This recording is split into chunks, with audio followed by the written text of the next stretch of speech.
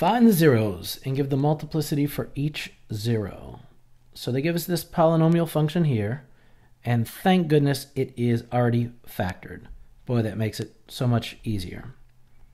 And what you need to do to find your zero is say that your f of x equals 0. Okay, now I'm going to rewrite this, negative 2. I'm going to write out x plus 5, and then I'm going to write both of these factors out twice. x minus 7 times x minus 7. Now, what I'm looking for is any number for x that would make this whole thing 0. So I take all of my factors, or possible factors, and I set them equal to 0.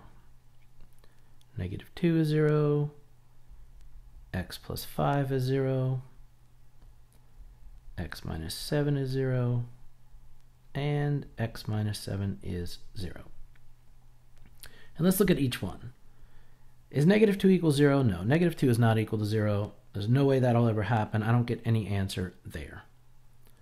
For the second one, x plus 5 equals 0. Well, if I subtract 5 on both sides, I'm going to see that x equals negative 5. That's one of my zeros, negative 5. X minus 7 equals 0. Well, if I add 7 to both sides, I'm going to find out that x equals 7. It's another 0. And then this is the same thing. So add 7 to both sides, and x equals 7 again. Now, since this is the same number and happens twice, I only need to include it once. So I have two zeros here. My zeros, in the answer to part A, the zeros are, zeros are negative 5 and 7.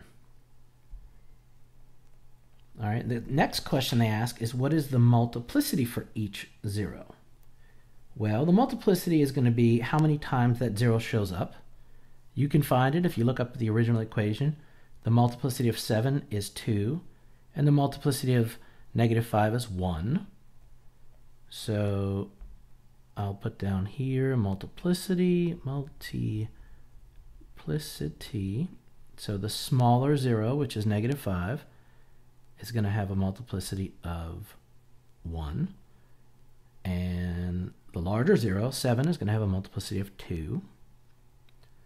And part B says, does the graph cross or bounce at each 0? All right, now you will probably also hear this as instead of bouncing, instead of something bouncing off, they're going to say it touches and turns around. All right, I call that bouncing cross or bounce. And if your multiplicity is odd, okay, like 1, 3, 5, 7, 9, if your multiplicity is odd, then it is going to cross. Okay, so this one crosses. And if your multiplicity is even, 2, 4, 6, 8, then it will touch and turn around, or as I call it, it's going to bounce. All right, so this is the this really answers the questions that they ask.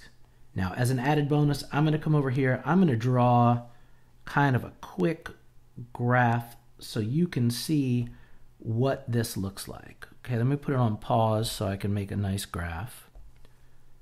And I'm going to make my graph in a, a kind of yellow color.